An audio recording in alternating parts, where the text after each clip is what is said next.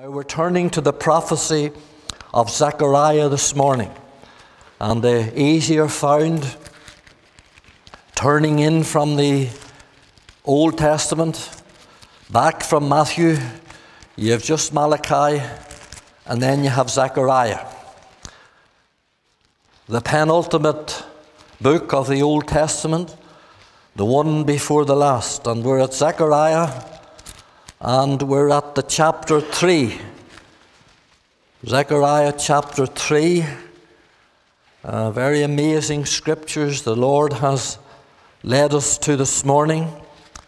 And I want to take your time, uh, take, take, I want you to take your time and read with us as we read through these verses and keep your Bible open then afterwards and uh, chapter 3 of Zechariah and verse 1. And, uh, and he showed me. The, this here is, is the third of eight visions uh, that God gave to the prophet Zechariah after the return of the um, Jewish people from the Babylonish captivity. And he showed me Joshua, the high priest, standing before the angel of the Lord. Now, where you get that phrase most times in the Old Testament, it's what we call a theophany. It's the pre incarnate Son of God. It is the Lord Jesus Christ appearing before he appeared at Bethlehem's manger. Remember, he said to the Pharisees one day before Abraham was, I am. He's the eternal Son of God. And we did a study some years ago, off and on, on the theophanies, on the appearance of our Lord Jesus into situations in the Old Testament. And it's an amazing study. It's an amazing study. And here is another one of them here. The angel of the Lord and Satan standing at his right hand to resist him. Now, I want you to look at that, and I want you to get this into your mind this morning that Satan is real. You see, it says that Satan is standing. That's his posture here. You see the place here He's in where the high priest or the chief priest only is allowed to go. He's a cheeky boy. You see the place, you see the purpose. His purpose is to resist him. And the Lord said unto Satan, The Lord rebuked thee, O Satan. Do you think the Lord's talking to himself? No, he's not. We'll see that in a minute.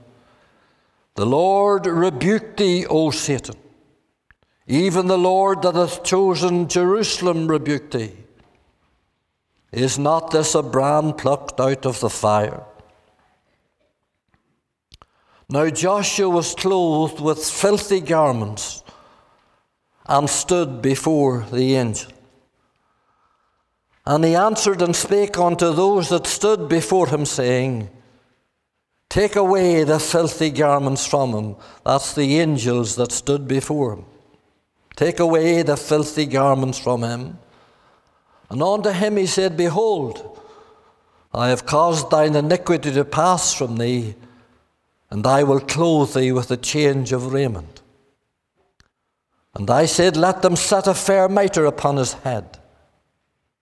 So they set a fair mitre upon his head and clothed him with garments, and the angel of the Lord stood by. The angel of the Lord protested unto Joshua, saying, Thus saith the Lord of hosts, If thou wilt walk in my ways, and if thou wilt keep my charge, then thou shalt also judge my house, and shalt also keep my courts, and I will give thee places to walk among those that stand by. Hear now, O Joshua, the high priest, thou and thy fellows that sit before thee, for they are men wondered at. For behold, I will bring forth my servant. That's the Lord Jesus again. The branch, that's him again. Capital letters. For behold, the stone that I have laid before Joshua, even upon one stone shall be seven eyes. Behold, I will engrave the graving thereof, saith the Lord of hosts, and I will remove the iniquity of that land in one day. In that day, saith the Lord of hosts, shall ye call every man his neighbour under the vine and under the fig tree. And we know that God will bless to us the reading of His own precious and eternal word. Haggai and Zechariah were contemporary prophets. That is, they prophesied around the same time to the nation of Israel. And that time was, as you know, those of you who listened to the four messages on Haggai, was at the return of the 70 years of Babylonish captivity. And a lot of their messages had to do with the reconstructing, the restoring, and the reestablishing of Solomon's great temple. It had been cast down, it had been burnt, it had been ruined, on their prior being taken into to captivity. Now, the main purpose for this house of God and for every house of God is to worship the Lord.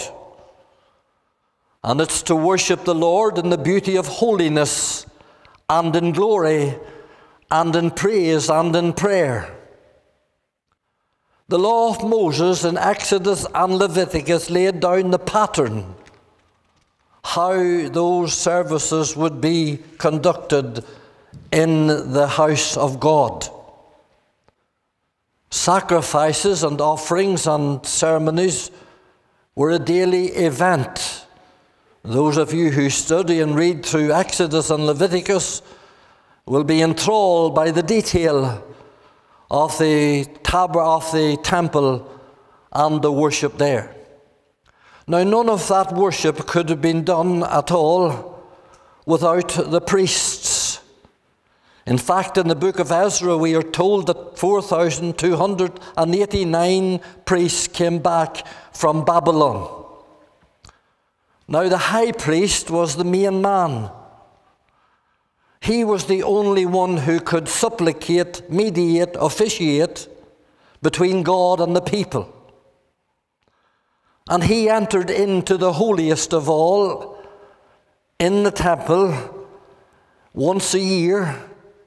He entered in with his royal blue robes, his fine white linen, his ephod, his girdle, his mitre, and breastplate, and he offered a sacrifice for his own sins first, and then for the sins of the people.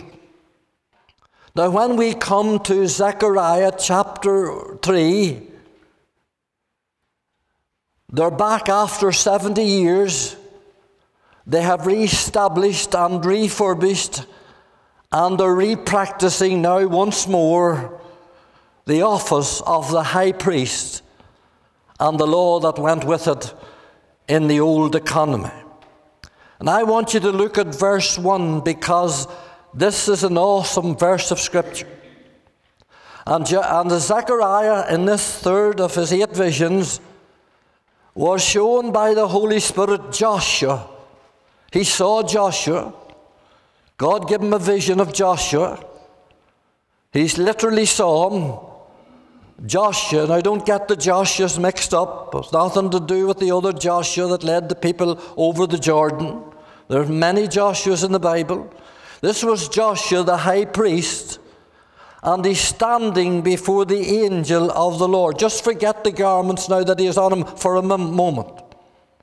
But can't you see in that verse that Satan, our adversary, the devil, is standing at his right hand? That was where the accuser always stood and always does, and still to this day stands in a court of law. We have Satan, and he has entered into the holy place, and he's standing at the high priest's right hand before the Lord. And he's there to resist him. Now, I'll be saying more about that in a moment, but let me say this. I have written over this statement of Satan standing at his right hand the fearfulness of Satan. The fearfulness of Satan. Now, how do we make that out? I mean, I'm saying he was fearful. How do we make that out? When we see the blatant foe where he is ruthlessly standing. How would he have the nerve to go in to this place at all? Well, my friend, he has and had. You see, in the book of Job, when God met with the angels, Satan also came among them. Now, we want you to get into your mind something of the power that we are dealing with in our lives and in these last days. And we're going to expose the work of Satan this morning. In the Gospels, he alone faced the Lord Jesus Christ for 40 days and 40 nights. And where there's an opportunity, He'll disrupt, he'll destroy, and he'll accuse, and he'll slander, and he'll do it blatantly. He's not afraid in that sense. But what he is afraid of is this. Why did he not send some of his demons here? Because I want to emphasize again, he's afraid. What is he afraid of? He knows the danger of a holy man of God shut in with his God, close to the Lord, interceding at the throne of glory on the behalf of himself and on the behalf of others. He'll resist that. When we come on behalf of the church, when we come on behalf of the nation, when we come on behalf of our families, He knows that. He knows that it's in there where holy men and women of God, He knows that it's in there that the strongholds can be dismantled. He knows that it's in there, those holy men of God interceding before God with clean hands and a pure heart. He knows, he knows that the strongholds, his strongholds, can be pulled down that way, and he's afraid of that.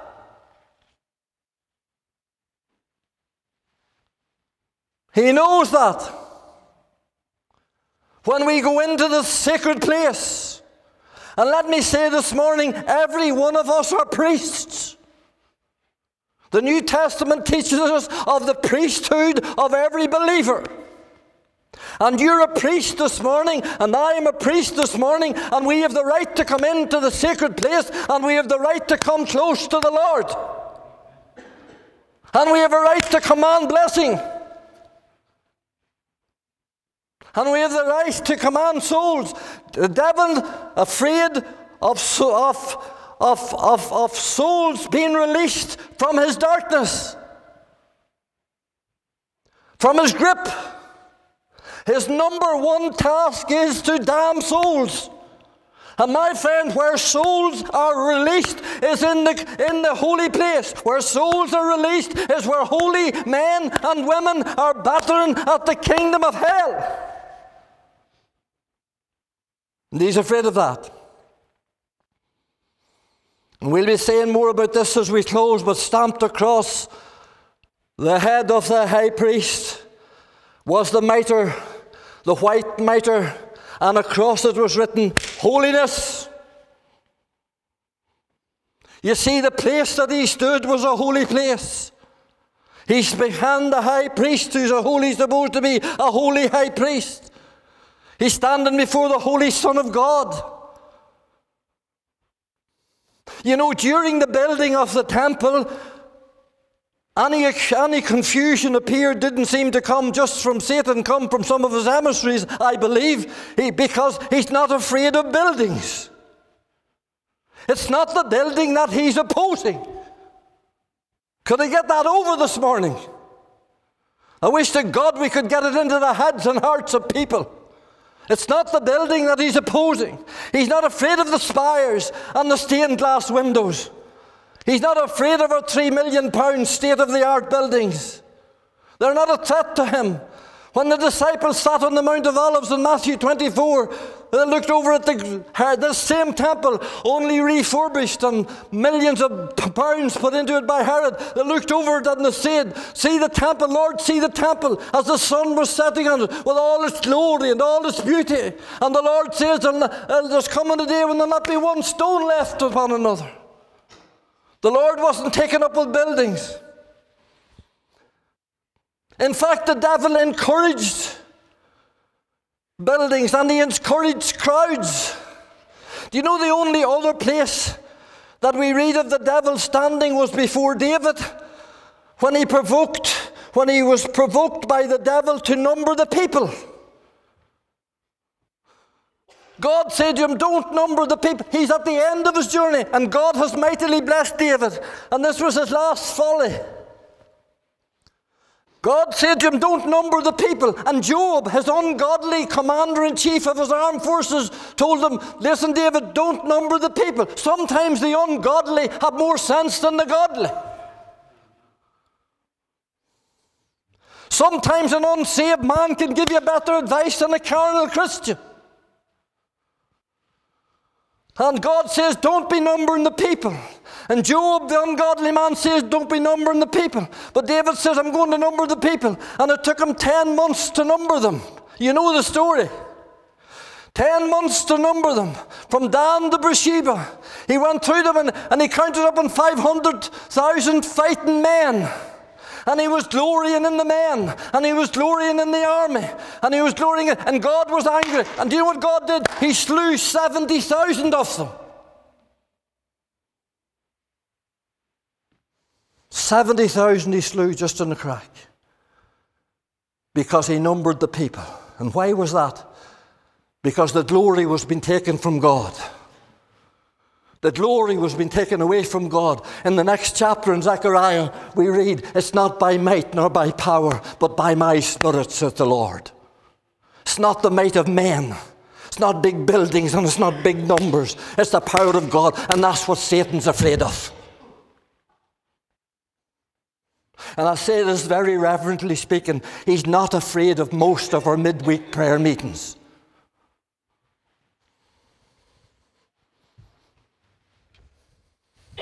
He's not a bit afraid. And he's not a bit afraid of some of our wee chants in the morning with the daily reading. Not a bit of him. He's afraid of holy men and women of God taking on the powers of hell with clean hands and a pure heart and open to God and nothing between them and God. And then he's afraid. He's afraid. Praying in the Holy Ghost. He's afraid because that sort of closeness to the Lord and that sort of intercession, I tell you, my friend, releases souls and it restores backsliders, and He doesn't want backsliders restored. And God, God knows Northern Ireland has plenty of them, thousands of them. Tyrone has thousands of them. And when you go into the holy place and you go in and you begin to intercede for the release of sinners and for the restoring of backsliders and for the revival of the Holy Ghost, I tell you this, you'll have Satan at your right hand. And he'll be there. So you see the fearfulness of Satan, and then we see the scornfulness of Satan because he's at his right hand to resist him. He's not there to say amen to his prayers. He's not there to encourage him. He's there to resist him. And that word is to slander him, to accuse him, to vilify him, to attack him. So when you get into prayer and intercession and you're going a couple of minutes and you're doing well and your mind starts to wander everywhere and everything else starts to come in and you have to pack it up, that's the devil near you.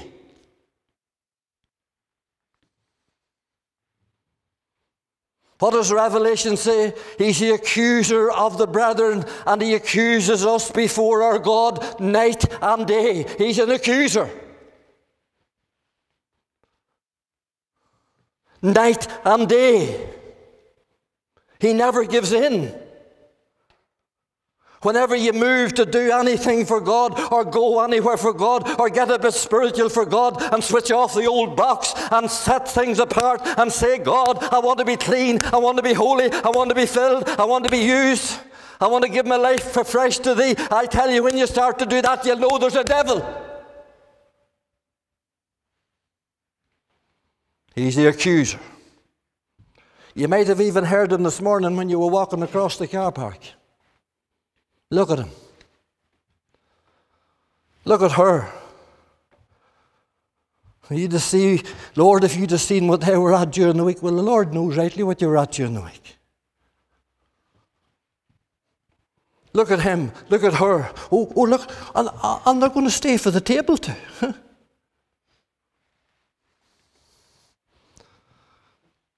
Look at what they were doing on Monday, and look at what they were doing on Tuesday. Look at what they were looking at last night. That's his trade. That's his trade. But my friend, the thing about it is this the devil tells the truth when it suits him. And he's telling the truth here, as you'll see in a minute, about Joshua and his garments. Oh, he can tell the truth when it suits him. And he can tell the truth about us, you know. He can tell the truth about me. And about you. What is the truth this morning? What is the devil? What is the devil slandering to the Saviour about us this morning? What is he accusing us of? Hmm? What is he mocking us about? What is he saying that we have done which was unclean and unholy and not right? What is he saying? Is he saying there's a man away into church there this morning that never spent five minutes with me during the week? Is that what he's saying? There's people going into church this morning, they have no family altar in the house, and they never gathered their children round, and they're away into church this morning. That what he's saying? Hmm? What is he saying? That's truth. There's a man away in the church this morning and he's as dark and he's as doomed and he's as damned as the man in the pub in Dungannon.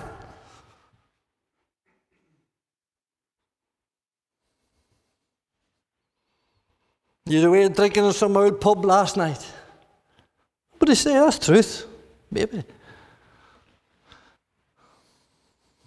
The devil tells the truth.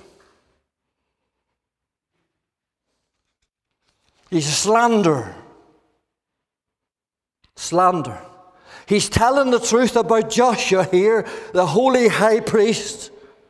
And I want you to look at that now in verse 2. And, uh, and verse 2 And the Lord said unto Satan, The Lord rebuked thee, O Satan, even the Lord that has chosen thee. Verse 3 Now Joshua was clothed with filthy garments and stood before the angel.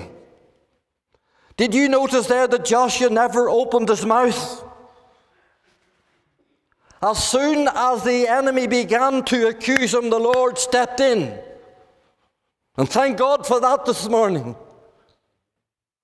I tell you this morning, while there's one interceding at the right hand of the Saviour, there's one interceding on earth, and it's the devil.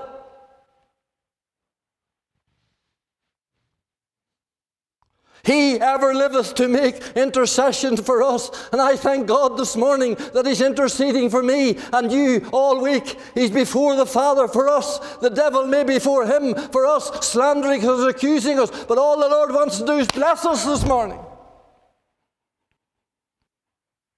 Forgive us. Look what he, look, look, Lord, look what he is on him. Look, look at what he's come in here with. Filthy garments. Now, the word filthy here is a very strong word. It's human excrement and vomit.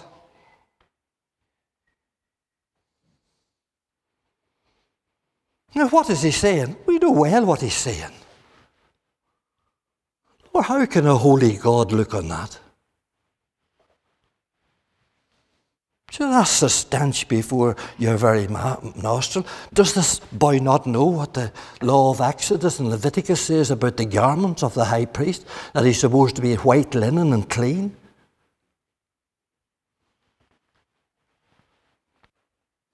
He has them, you know.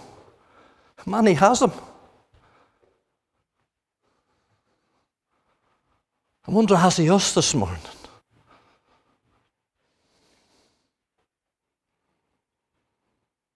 Lord, what does this He's saying, do, do, you not, do, you not, do, you not, do you not see him?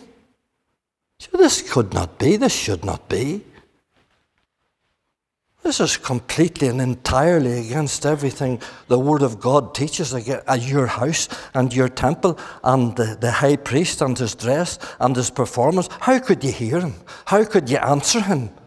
Sure, it's shameful. And I tell you, we turn from the fearfulness of Satan and the scornfulness of Satan to the cheerfulness of Satan.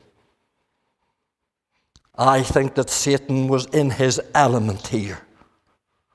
Now, whether they didn't have the garments or whether they were soiled and all that when they were down in Babylon, I don't know the answer to that at all. But that's not the point of the message. The point of the message is this that he was supposed to be a holy man of God, but he was unclean in the sight of God. And I believe that the, that, that, that the, the, the devil was so sure that he was going to see uh, Joshua wiped out and the nation sent back into Babylonish captivity. But Joshua never opened his mouth in his defense, and the devil never spoke either that we read of. And I tell you, he's more dangerous when he's silent.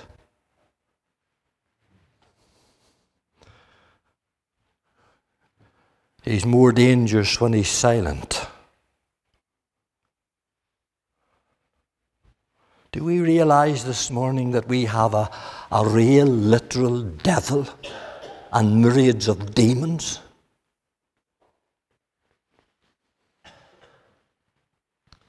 Do you realize this morning that in these last days that they are they are out and out When our Lord Jesus Christ came the first time in the flesh as a babe to the manger and his 33 and a half years on this earth, every demon out of hell came out of hell to attack him. He was casting them out daily. It's the very same with the second coming.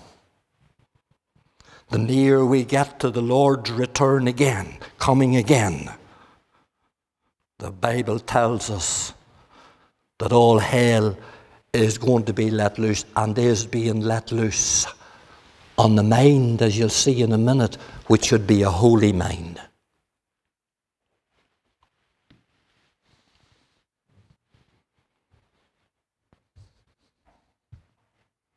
Every dirty thing that he can muster. And I tell you, my friends, and I say this this morning if you're not alone in the presence of God, in confession daily, He'll make mincemeat of you and your family and the churches, and He's doing well with the churches.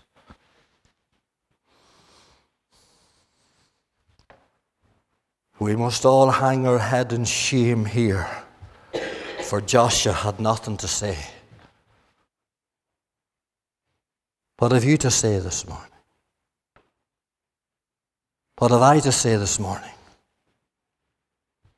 Now, the question that I hear asked in prayer meetings, and more and more, and I'm glad to hear it more and more coming from those that are praying, is this Lord, why is revival tarrying in our land?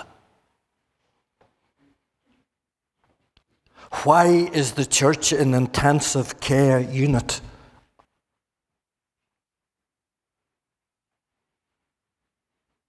Why have we to put money under the seats? That I'm hearing about a big church put money under the seats that to get the people in, holiday brochures or holiday vouchers or whatever, to get the people in. Why have we to do that? Why have we to get Ferguson's and Nuffields and Massey tractors to get the people in?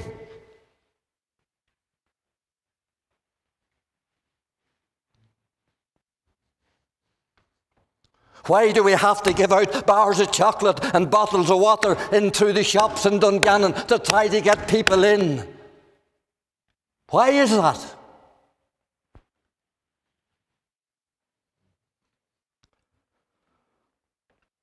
Why is there churches talking, evangelical churches talking about uh, Christmas raffles? And I heard of one who had, stopped their meetings for a smoke break. Why is this?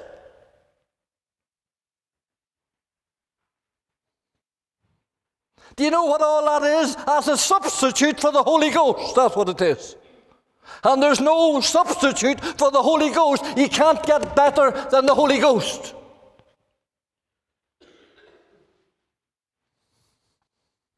The Holy Ghost is not drawn, He is not working, He is not moving. Would it be because of unclean garments?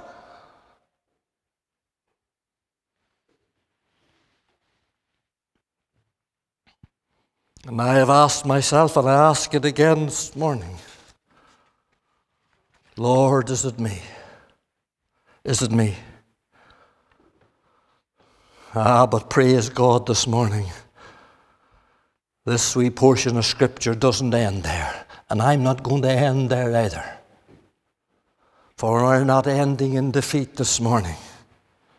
I'll tell you, if he stands at the right hand of Joshua, I have one again, I say, who stands at the right hand of the Father for me. Let every one of us this morning take courage in verse 2 and the Lord said unto Satan, I tell he didn't give Joshua a chance to open his mouth. Man, he came. I love my Lord this morning. Many's a day he has stepped in just like that for me. Now, the devil would have wiped me out. He would have destroyed me, even in my unsaved days. Ah, look at the verse. And the Lord said unto Satan, The Lord rebuked thee, O Satan, even the Lord that hath chosen Israel. I tell you, you know what you have there? You have the Lord speaking to the Lord. You have God the Son speaking to God the Father.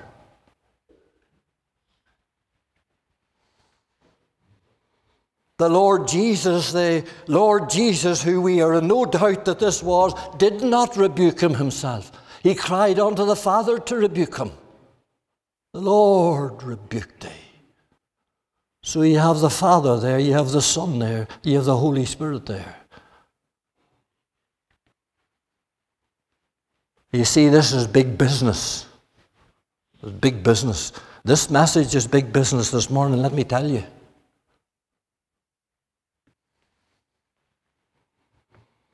The Lord rebuke you. And twice in that verse, he has the word rebuke. The Lord, there's a double rebuke. And here's what he said The Lord rebuked thee, O Satan, even the Lord that has chosen Jerusalem rebuked thee. Is not this a brand plucked out of the fire? I tell you what, what he's saying is this. He's, that word plucked is snatched. I have snatched this man from the fire. I have snatched Israel from the fire. I have snatched the children of God from the fire. Hallelujah. This is not a brand. A brand was only an old bit of a stick, you know. But you know, I don't know if you've done it, but I have done it. I've done it on more than one occasion. I've thrown a bundle of stuff into the fire and I've been watching it burn and I've seen something that I shouldn't went in at all.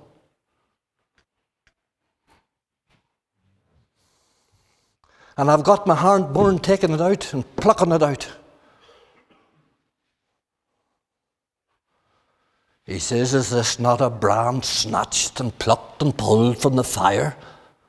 I didn't bring Israel after 420 years out of Egypt. I didn't pluck them out of the hands of Pharaoh, nor did I uh, to redeem them, nor did I bring them out of Babylon to restore them, for you to slander them and to destroy them.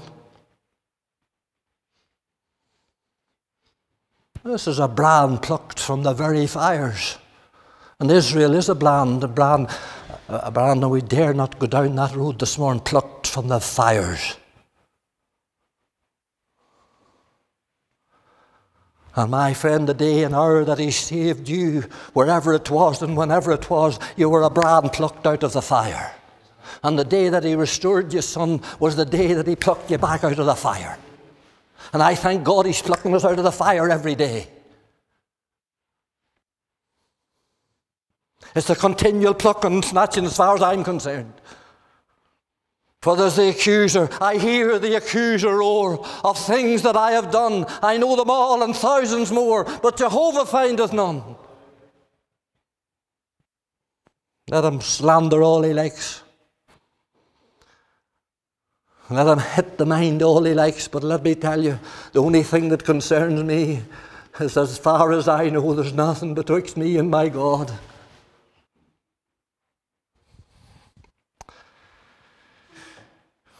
Oh, he says, I didn't take them out of Egypt to let you destroy them. I pulled them out of the fire and I pulled them out of Babylon, and they're not going back into it either. Thank God I'm not going back to the old world and the old ways, and I'm certainly not going to hell. Maybe you are this morning. Maybe you're not plucked out of the burning yet, for you want to stay in the fire. Well, stay in it. He says, I plucked them, I grabbed them, I snatched them out of the fire. See the rebuking, you see the plucking, you see the choosing. He says, I have chosen, I have chosen, chosen Jerusalem. Now, here as we come to a close, you see the stripping. Verse 4 And he answered and spake unto those that stood before him, that was the angels, saying, Take away the filthy garments, take the filthy garments of Joshua, take them off him. And I can tell you that means every last one of them. And I can tell you that he was stripped naked. Because the high priest before he went into the holiest of all, had to bathe himself in clean water. There has to be a stripping. God's not in the business of covering over dirt. He's not in the business of patching things up. He that covereth his sins shall not prosper, but whosoever confesseth them and forsaketh them will find mercy.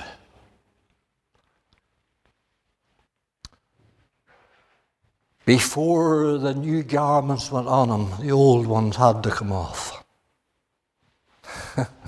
and that takes me to the lovely story in Luke 15 of the prodigal son.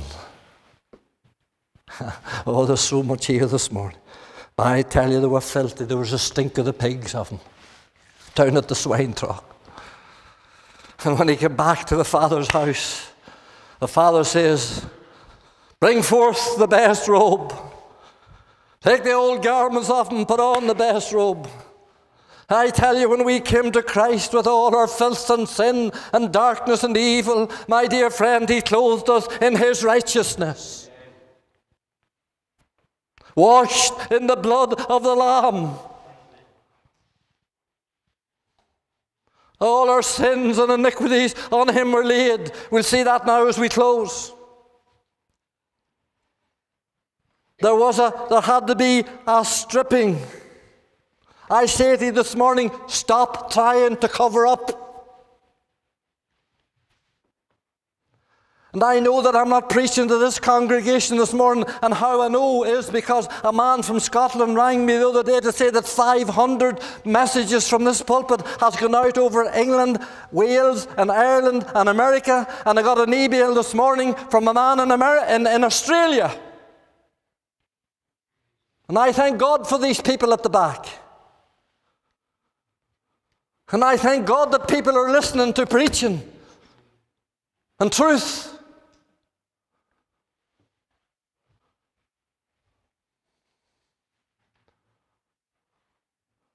There has to be a stripping. There has to be a, a, a, a, doing away with the old sin and the old habits and the old things, my friend. Get rid of the old tobacco and get rid of the old things that hinder you in your walk for God.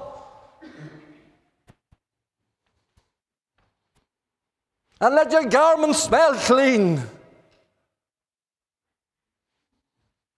And above all, be clean and holy when you come into the presence of the Lord and around his table. There has to be a stripping, and then there had to be a washing. As I said, for the high priest had to wash himself.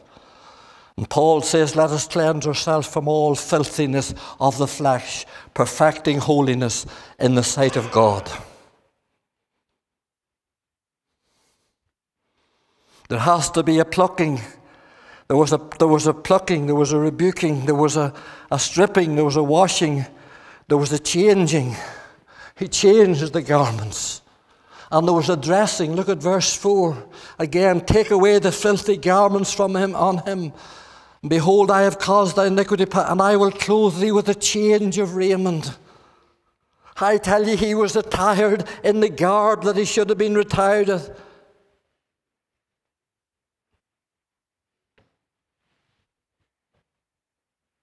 He was clothed in the righteousness of the high priest's linen girdle and a mitre placed upon his head. It was a turban, it was white. Speaking of purity, it had holiness stamped across it. And I tell you, my friends, if ever there was a day we needed clean minds, it's today. If ever we needed to watch our minds and the devil and his lies and his deceit, it is today.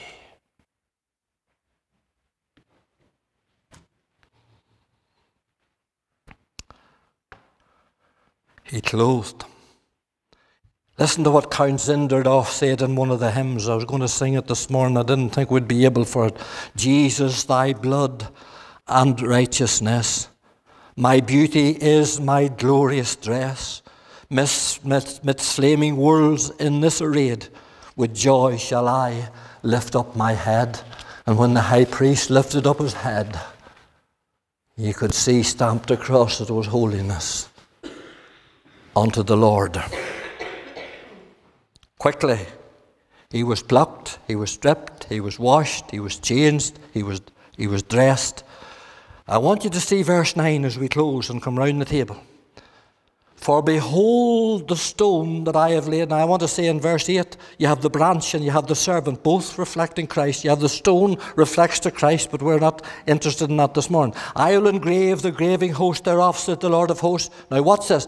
I will remove the iniquity of that land in one day. Now, you get as many commentaries, good commentaries, as you like, and you know what you read. That was the day, the day of crucifixion. That was the day that my blessed Lord, who, who, who, who hung naked, who was stripped, he was stripped, he was stripped naked, not for his sins, but for our sins. He had no sin. He was wholly harmless and separate from sinners, and he hung stripped naked on that old cross of Calvary. And on that day, I tell you this, on that day, what does it say? On that day, I will remove the iniquity of the land. And when you and I came to Christ as sinners, my friend, that Calvary covers it all. For there he died, crowned with thorns, rose again, and lives in the power of an endless life, and ever lives to intercede for us. And when the devil opens his mouth, he can shut it.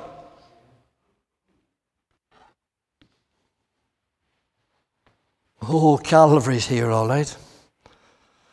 And I'll tell you there's more than that. In that day in verse 10, saith the Lord of hosts, shall ye call every man his neighbour under the vine and under the fig tree. That speaks of peace and it speaks of rest. And it speaks of shelter and it speaks of protection. Under the fig tree was a great place to go in the burning sun. I tell you, we're under the fig tree this morning. I tell you, we're protected this morning. I tell you, we're forgiven this morning. We're cleansed this morning. Don't let the devil, and listen, if he's telling the truth, go and do something about it. Turn it back on himself. God turned this back on Satan.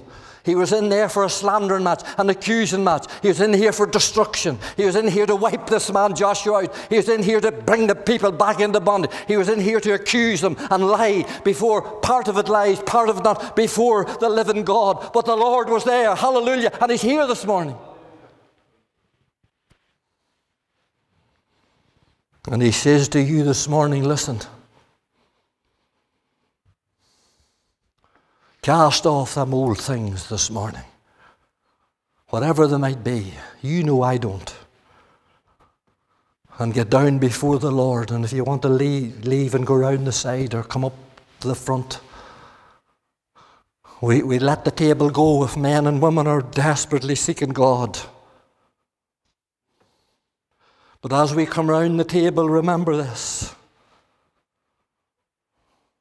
that the devil will accuse us. And that's why some of you are going out in the mornings, he's accusing you. And he might be telling the truth, and he might not. Because he knows what suits every one of us. And there's no reason why men and women shouldn't be round and break this bread and drink this wine if they're redeemed of the Lord. Not a reason at all if everything's right with you and God. If there's nothing between you and God, I know people have to go and they've chilled. I'm not talking about that. I'm talking about you before God and me before God. God forbid that we would taste of these things or touch these things or come into the presence of God around this holy table and this bread and wine, what it remembers. And the devil would slander us, and what he would say would be the truth. God help us that that may not be the case.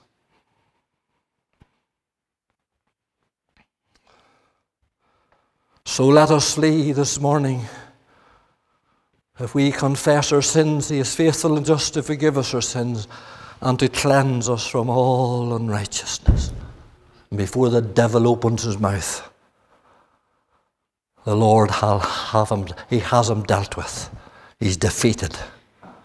And he knows it and he's afraid. That's what he's afraid of. He'll be afraid of this prayer meeting on Saturday night. He's afraid of the Friday morning ones too, and probably the Thursday night too. He's afraid of praying men and women. But we're not going to back off when he's defeated. We're not going to back off now.